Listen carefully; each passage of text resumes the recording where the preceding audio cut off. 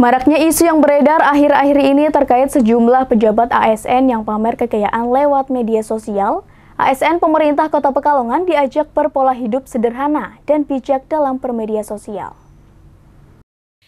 Maraknya isu yang beredar pada akhir-akhir ini terkait sejumlah pejabat ASN pamer kekayaan lewat media sosial dan sesuai dengan SE Mendagri tahun 2023, pemerintah Kota Pekalongan menindaklanjuti hal tersebut pada 12 April 2023 melalui surat edaran tahun 2023 tentang menerapkan pola hidup sederhana bagi aparatur sipil di lingkungan pemerintah kota.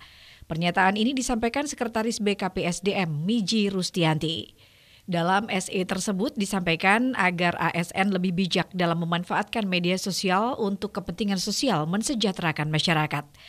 Miji menambahkan bahwa ASN bukan pekerjaan untuk menjadi orang kaya, melainkan pengabdian kepada bangsa dan negara dan memastikan layanan masyarakat secara lebih optimal. Di mana pun berada dalam kehidupan bermasyarakat, ASN dan keluarga diminta menerapkan pola hidup sederhana dengan mematuhi norma hukum, kepatutan, dan juga kepantasan.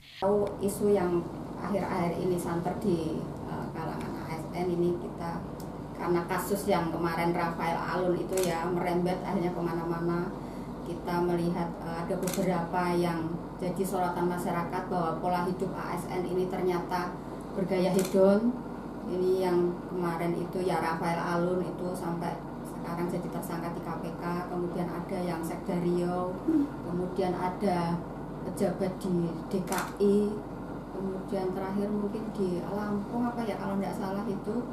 Akhirnya dari kementerian dari pusat itu uh, mengedarkan uh, surat terkait pola hidup sederhana untuk ASN dan ini kami juga sudah menindaklanjuti di tanggal 12 April. Kita sudah e, mengedarkan surat ke OPD ini e, kepada pejabat pimpinan tinggi Pratama atau kepala OPD untuk melakukan langkah-langkah. Ini memberikan contoh sikap perilaku yang baik tidak jemowo. Jemowo itu mungkin tidak sombong ya.